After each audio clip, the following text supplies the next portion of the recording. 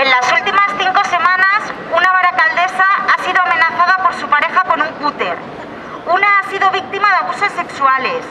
Otra ha sufrido una violación.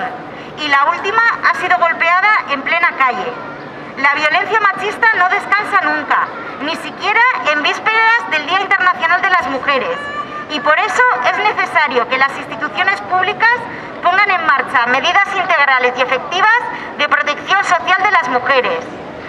Desde el movimiento feminista no vamos a dar tregua.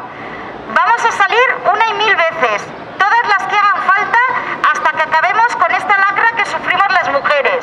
Ni una sola agresión se puede quedar sin respuesta.